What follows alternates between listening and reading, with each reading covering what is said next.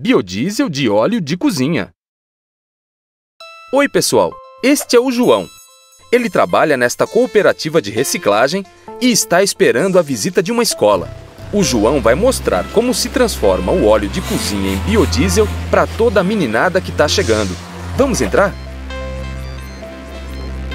Tudo começa aqui, onde o óleo usado é recebido. Ele é filtrado para retirar os resíduos maiores. Logo após, o óleo segue para o decantador, onde é separado da água e das impurezas, que vão para o fundo. Depois, passa para o tanque de aquecimento.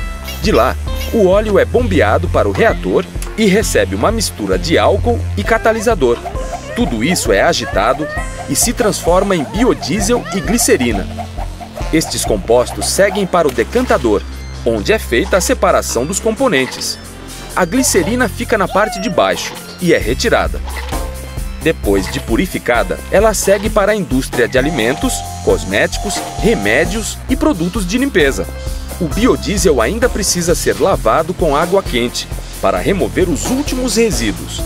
Finalmente, a água é separada, o biodiesel é dessecado e está pronto para ser usado como combustível.